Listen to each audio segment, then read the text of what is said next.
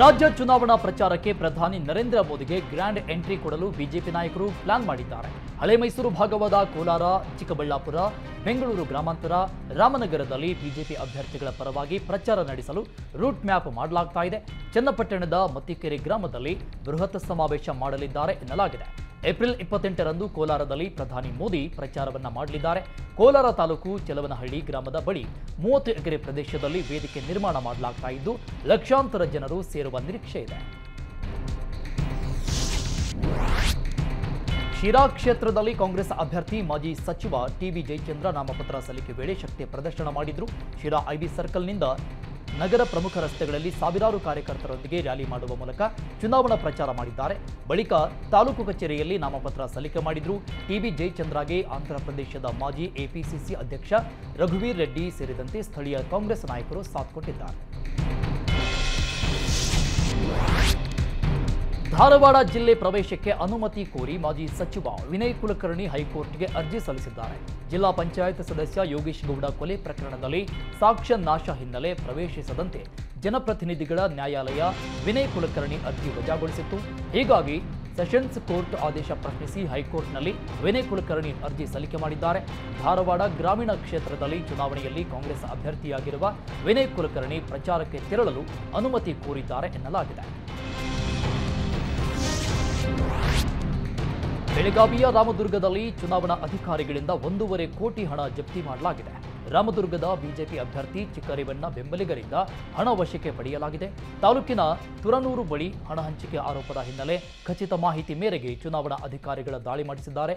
ಈ ಸಂಬಂಧ ಆದಾಯ ತೆರಿಗೆ ಇಲಾಖೆಗೆ ಪ್ರಕರಣವನ್ನು ಚುನಾವಣಾ ಅಧಿಕಾರಿಗಳು ಹಸ್ತಾಂತರ ಮಾಡಿದ್ದಾರೆ.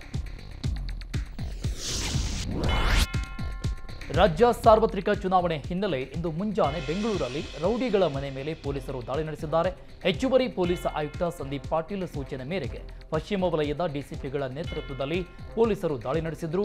ದಕ್ಷಿಣ ವಿಭಾಗದ ನೂರ ಹತ್ತು ಹಾಗೂ ಪಶ್ಚಿಮ ವಿಭಾಗದ ನೂರಾರು ರೌಡಿಗಳ ಮನೆ ಮೇಲೆ ರೇಡ್ ಮಾಡಿ ಚುನಾವಣೆ ಹಿನ್ನೆಲೆ ಯಾವುದೇ ಅಪರಾಧ ಕೃತ್ಯಗಳಲ್ಲಿ ಭಾಗಿಯಾಗದಂತೆ ವಾರ್ನಿಂಗ್ ಕೊಟ್ಟಿದ್ದಾರೆ.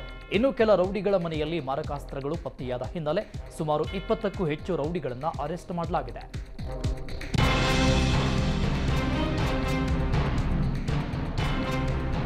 ಕಾಂಗ್ರೆಸ್ ನಾಯಕರಿಗೆ ಬಂಡಾಯದ ಬಿಸಿ ಜೋರಾಗಿದೆ. ನಿನ್ನೆ ಕಾಂಗ್ರೆಸ್ ಕೊನೆಯ ಪಟ್ಟಿ ರಿಲೀಸ್ ಮಾಡಿತ್ತು. ಕೊನೆ ಪಟ್ಟಿಯಲ್ಲೂ ಟಿಕೆಟ್ ವಂಚಿತರು ಬಂಡಾಯ ಬಿದ್ದಿದ್ದಾರೆ ಮದ್ದೂರಲ್ಲಿ ಕೆ. ಉದಯಗೌಡಗೆ ಟಿಕೆಟ್ ನೀಡಿದ್ದಕ್ಕೆ ಮಾಜಿ ಸಿಎಂ ಎಸ್ಎಂ ಕೃಷ್ಣ ಸಹೋದರನ ಪುತ್ರ ಗುರುಚರಣ್ ಕಾಂಗ್ರೆಸ್ ತೊರೆದು ಜೆಡಿಎಸ್ ಸೇರಿದ್ದಾರೆ.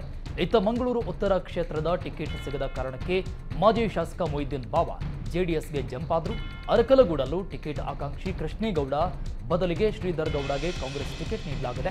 ಹೀಗಾಗಿ ಕೃಷ್ಣೇಗೌಡ ಪರ ಸಹೋದರ ರಾಮೇಗೌಡ ಲಾಬಿ ಮಾಡಿದ್ರೂ ಡಿಕೆ ಬ್ರದರ್ಸ್ ಮಣಿದಿಲ್ಲ ಎನ್ನಲಾಗಿದೆ. ಚಿತ್ರದುರ್ಗದಲ್ಲಿ ಬಿಜೆಪಿ ಅಭ್ಯರ್ಥಿಯಾಗಿ ಜಿಎಚ್ ತಿಪ್ಪಾರೆಡ್ಡಿ ನಾಮಪತ್ರ ಸಲ್ಲಿಕೆ ಮಾಡಿದ್ರು. ನಾಮಪತ್ರ ಸಲ್ಲಿಕೆಗೂ ಮುನ್ನ ಬಿಜೆಪಿ ಅಭ್ಯರ್ಥಿ ತಿಪ್ಪಾರೆಡ್ಡಿ ಟೆಂಪಲ್ ರನ್ ನಡೆಸಿದ್ದಾರೆ. ನೀಲಕಂಠೇಶ್ವರ ಸ್ವಾಮಿಗೆ ರುದ್ರಾಭಿಷೇಕ, ವಿಶೇಷ ಪೂಜೆ ಸಲ್ಲಿಕೆ ಮಾಡಿದ ನಂತರ ಚಿತ್ರದುರ್ಗ ನಗರದ ತಿಪ್ಪಾರೆಡ್ಡಿ ನಿವಾಸದಿಂದ ತಾಲೂಕು ಕಚೇರಿಯವರೆಗೂ ಬಿಜೆಪಿಯ ಸಾವಿರಾರು ಕಾರ್ಯಕರ್ತರು ಬೃಹತ್ ಮೆರವಣಿಗೆ ಮಾಡಲಾಯಿತು. ಈ ಮೆರವಣಿಗೆಯಲ್ಲಿ ಸಚಿವ ಬಿಸಿ ಪಾಟೀಲ್, ಕೇಂದ್ರ ಸಚಿವ ಎ ನಾರಾಯಣಸ್ವಾಮಿ ಮಾಜಿ ಸಂಸದ ಜನಾರ್ದನ ಸ್ವಾಮಿ ಸಾಥ್ ನೀಡಿದ್ದಾರೆ. ಎಪ್ಪತ್ತೈದು ವರ್ಷ ವಯಸ್ಸಾಗಿದ್ದರೂ ಬಿಜೆಪಿಯಲ್ಲಿ ಟಿಕೆಟ್ ಗಿಟ್ಟಿಸಿಕೊಂಡಿರುವ ತಿಪ್ಪಾರೆಡ್ಡಿ ಸತತ ಏಳನೇ ಬಾರಿಗೆ ತಮ್ಮ ಅದೃಷ್ಟ ಪರೀಕ್ಷೆಗೆ ಇಳಿದಿದ್ದಾರೆ. ಮೊನ್ನೆ ಜಿಟಿ ದೇವೇಗೌಡ ಪರ ಪ್ರಚಾರ ಮಾಡಿ ನಿನ್ನೆ ಸಿದ್ದರಾಮಯ್ಯ ಸಮ್ಮುಖದಲ್ಲಿ ಅಹಿಂದ ನಾಯಕ ಜವರಪ್ಪ ಕಾಂಗ್ರೆಸ್ ಪಕ್ಷಕ್ಕೆ ಸೇರ್ಪಡೆಯಾಗಿದ್ದಾರೆ. ವರುಣಾ ಮತ್ತು ಚಾಮುಂಡೇಶ್ವರಿ ವಿಧಾನಸಭಾ ಕ್ಷೇತ್ರದ ಪ್ರಭಾವಿ ಅಹಿಂದ ಮುಖಂಡ ಜವರಪ್ಪ ನಿನ್ನೆ ಜೆಡಿಎಸ್ ತೊರೆದು ಕಾಂಗ್ರೆಸ್ ಪಕ್ಷವನ್ನ ಸೇರಿದ್ದಾರೆ. ಸಾಮಾಜಿಕ ಕಾರ್ಯಕರ್ತರಾಗಿ ಮೈಸೂರು ಎಪಿಎಂಸಿಯ ಮಾಜಿ ಉಪಾಧ್ಯಕ್ಷರಾಗಿ ಕೆಲಸ ಮಾಡಿರುವ ಜವರಪ್ಪ, ವರುಣಾ ಮತ್ತು ಚಾಮುಂಡೇಶ್ವರಿ ವಿಧಾನಸಭಾ ಕ್ಷೇತ್ರಗಳಲ್ಲಿ ತಮ್ಮದೇ ಆದ ಪ್ರಭಾವ ಹೊಂದಿದ್ದಾರೆ. ಮೈಸೂರಲ್ಲಿ ಸಿದ್ದರಾಮಯ್ಯ ಸಮ್ಮುಖದಲ್ಲಿ ಜವರಪ್ಪ ಕಾಂಗ್ರೆಸ್ ಸೇರುವ ಮೂಲಕ ಜಿಟಿ ದೇವೇಗೌಡರಿಗೆ ಹೊಸ ಸಂಕಷ್ಟ ತಂದಿಟ್ಟಿದ್ದಾರೆ.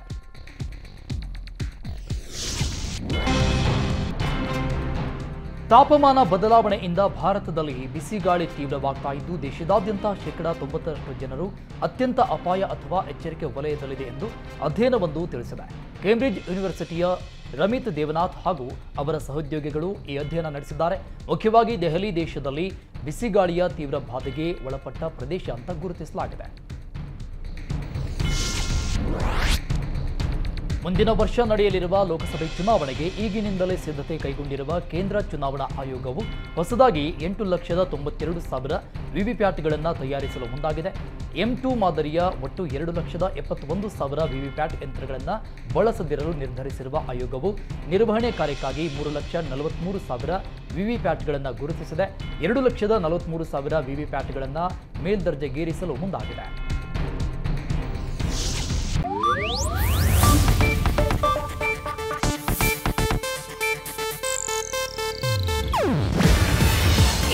ಏಷ್ಯಾನೆಟ್ ನ್ಯೂಸ್ ನೆಟ್ವರ್ಕ್ ಪ್ರಸ್ತುತಿ. ನೀವು ನೋಡ್ತಿದ್ದೀರಾ ಏಷ್ಯಾನೆಟ್ ಸುವರ್ಣ ನ್ಯೂಸ್.